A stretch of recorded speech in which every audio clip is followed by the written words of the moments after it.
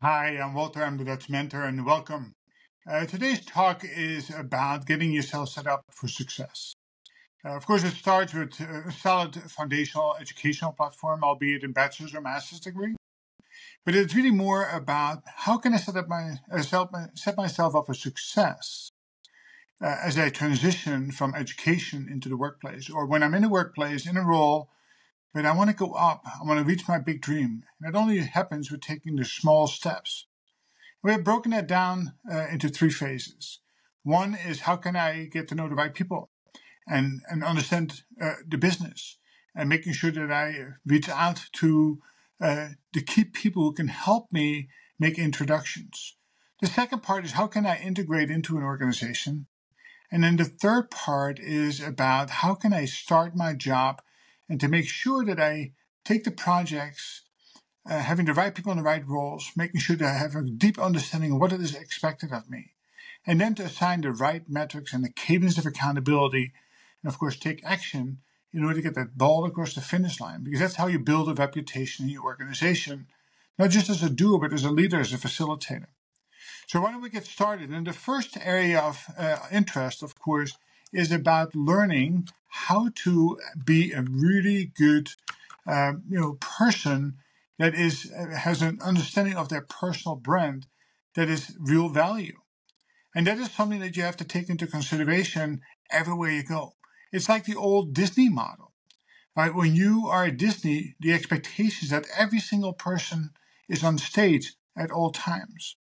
Well, think if you somebody if you're walking around with a logo with with an ID band around your neck, well, no matter where you go, if it's a grocery store, your doctor's office, you are representing that brand. So that's the first place you have to think about. How do I position myself in my community that I'm well, uh, you know, respected, that I'm kind and courteous, and I don't upset the forces, right? So always remember you are on stage at all times. Now, as you continue to learn in school and in the workplace, you're going to develop some of your natural strengths, what I call your superpower. You have to learn to understand what your superpower is. And that is something that you need to leverage going forward. The second, the third part of that is you need to start developing what it is that you really want to do in the years to come. So I say, dream big, act small. Well, what that means is that you get, uh, you know, some sort of a position or a title that you have in mind you think that is your ultimate goal. Again, those who don't dream don't reach their goals, right? They limit themselves. So I want you to dream big and then pull it back down. Okay, what does that look like in the future? What are the gaps between where those people are where I am today? Often it is experience, right? That five or 10 years experience. But there are other things along the way that you can continue to work on.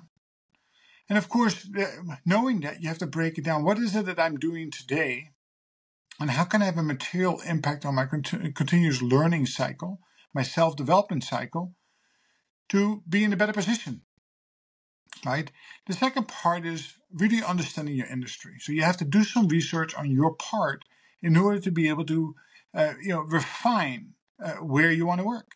So I always say, listen, draw a 50 mile radius around your house and and maybe a 75 mile radius after that, or even a nationwide radius, depending on what it is that you want to do.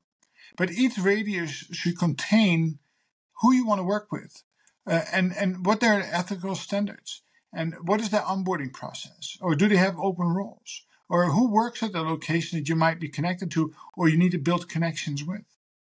Right. First, for yourself, you need to find out who do I want to work for why, right? What is your mission? What is what is your your driving force behind you? And once you have an understanding, that might be two or three different companies within a 50 mile radius. Start building meaningful relationships. Find places like joining an ACHE chapter in your neighborhood, uh, if you are in healthcare, to get to meet people. Right? It is really the networking that's going to help you uh, get a job. You might not know that today, but certainly for director level up roles, most of it is done through networking. It's no longer done through a, uh, a, you know simply applying to a hospital. It might actually not be the right way to do it.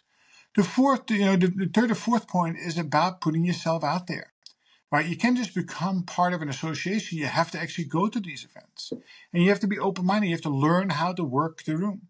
That is not by going to the clique that you already know, right? It is about setting yourself up for success by saying, listen, I am going to meet five new people tonight.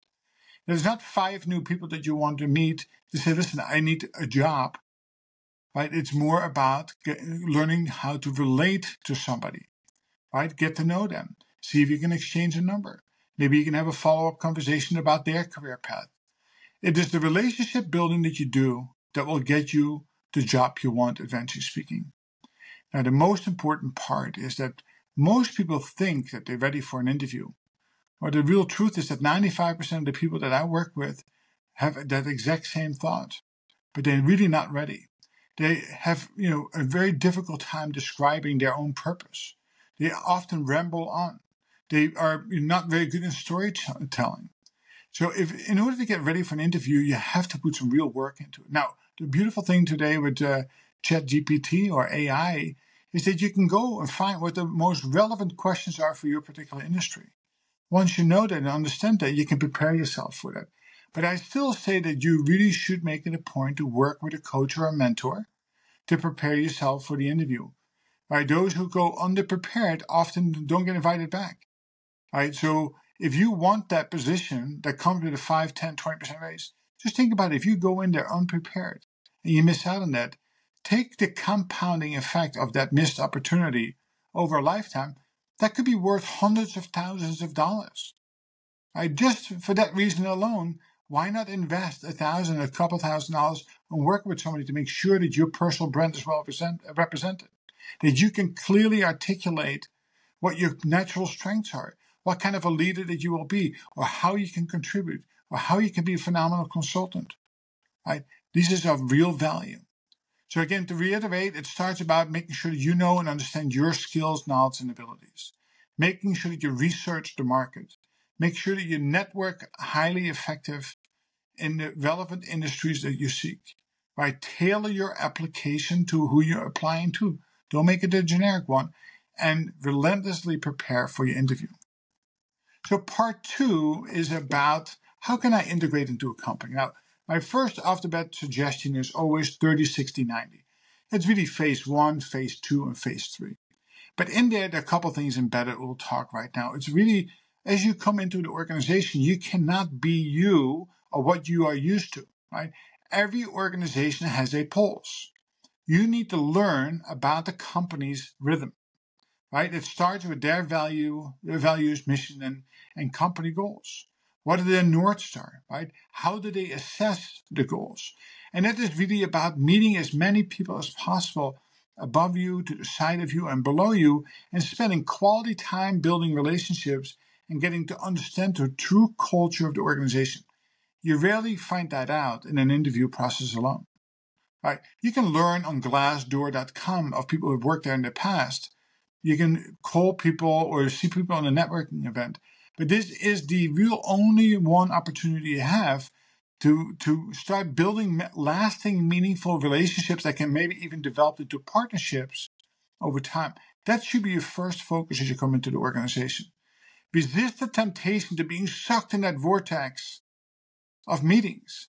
Right? It is about how you can learn to relate to each other, how you get to understand the organizational rhythm that will allow you to integrate much faster. Well, in that process, you can really refine two things. A, you can establish your effectiveness in communication, right? Both, uh, you know, sometimes they say less is more, right? You do a little less talking, do a little bit more listening. You are carefully understanding what the current problems are. And then to restate that, so you, to show that you actually have actively listened uh, to the conversation. And of course, you want to do a follow up too. You want to show that you take initiative as you come into the organization. You can't just sit back for 90 days and do nothing. So as you go out and listen to the organizational uh, problems, find that one little thing that you maybe can create a win around, especially if it is you know uh, based on using your supernatural strength, right? Being positive, being out there, showing initiative, getting involved, and understanding without driving every single conversation, right? Because that's with ego. You want to be humble, you want to be confident, but you want to be engaged. And at the later part of your 90 days of phase three, you want to start getting some feedback from people. Say, how am I doing? You know, what am I seeing, listening, feeling? You know, how am I presenting myself? That is really food for your brain, right? That is really phenomenally important for your career. Getting feedback. And people frown upon that. Why would you want to know? Well, if you're a, a servant leader, uh, if you want to be part of a team, it's exceptionally important to get feedback. As long as you're willing to make these adjustments along the way to present yourself better, right? To improve your personal brand. And the third part of that is finding the right uh, job uh, as a consultant or as an employee. And as you integrate, be able to get that ball across the finish line. So uh, my remedy to that is to establish what we call an operational rhythm. So I don't care if you're a consultant, a single contributor, a team leader. At the end of the day, we are all measured by our results. Well, there are five things that you can do and you can control no matter what it is, in order to improve the chances that you'll have a successful outcome. Now, be mindful 70%, 80% of the things we say we're going to do never happens. So, this is your opportunity to make an improvement and hopefully reverse it, right? Get 70%, 80% success rate. And this is not about success on Monday morning that, no, no, this is about doing things on a sustained basis so you can change habits and behaviors into new normals. So it starts off with having the right people in the right roles. Do the people have the right skills and interest to be engaged in the project? I always say we want to draw a couple of fresh eyes into the project so they have a new open perspective to it. But you need to make sure you have the right stakeholders sitting around the table, right? Understanding that each of us brings a different strength and ability to it. It's the collective that makes us really, really strong, right? Assessing if we have the right capabilities that is really what it is all about. So once you have that done, it is about uh, you know making sure that you have uh, a unified focus, right? What is it that we're going to be working on? Too often we go a mile wide and an inch deep. Well, we need to go an inch wide and a mile deep. We need to, make, zero in on that one issue that is, if we fix it, will have the greatest impact on everything else. So we need to do a critical issue analysis. Take that funnel, start wide, and narrow it down. And only when you come out uh, with a handful of projects, now go back to that North Star. Which one is truly aligned to what it is that we seek to accomplish? And then define clear roles and responsibilities. Once you have that established, that project needs to have meaningful metrics attached to it, driving and outcome metrics, right? You need to be able to publish those metrics on a daily and weekly basis. We need to be in an open environment, environment where people can see what it is we're trying to accomplish. And then, of course, you want to draw assertive feedback. This is where the cadence of accountability comes into play, right? It's the weekly performance report of the team members back to the team leader. It's also a good opportunity for the executive to come in once uh, every couple of weeks to listening on the team to see how well they're making progress to an end goal. It is you as a consultant who has an opportunity, right? You can be an internal consultant or external consultant who can you know, showcase the work that is being done, the progress that's being made to an end goal. Of course, with the feedback, you can make adjustments. By maintaining a scorecard, you're going to be accountable. Right? And that scorecard can be used to report back up the chain, both internally or externally. And the last part is about taking action. Right? If we don't do things, nothing will accomplish. If we do things and we see it's not going the right way and we don't course correct, it often leads to failure. If we take action but we don't measure it for a sustained period of time, often it will fall apart. Right? It's only human nature to go back to what we know best, and it is not uh, what we, you know, the best intentions often. Right? It is going back to what we are accustomed to, what is our normal. To overcome the resistance of change requires you to be persistent. And it's much better if you measure your performance along the way and there's common accountability, right? Crossover accountability in the team that each one of them is going to be contributing and being held accountable to that. Reward, recognize, and appreciate with an abundance, right? Be as soft as possible and as firm as you need to be. But the mindset is always about continuous improvement. How can we get a little bit better every single day? So that really encompasses the three big steps of setting yourself up for success. If you have any questions, come visit me at thedutchmentor.com. Book a free consultation. Be happy to have a conversation how I can potentially help you as an individual or as a company. I work with individuals for six, 12 months at a time, 30 minutes per week to set you up for success. Right? We make this large investment in our bachelor's and master's degree, hundred plus thousand dollars. But now take that extra step and invest that five or ten thousand dollars more to go after the jobs that you want. Prepare yourself for a successful journey. Remember, nobody is in Paris this, this uh, summer in 2024 as an athlete without a good coach and a mentor, right? If you put the time and effort into it, make that one last little investment to yourself to accelerate, right? Work with somebody who's been there and done that so you can be an accountability buddy. They can help and guide you, not do the work for you, but help and guide you. All right.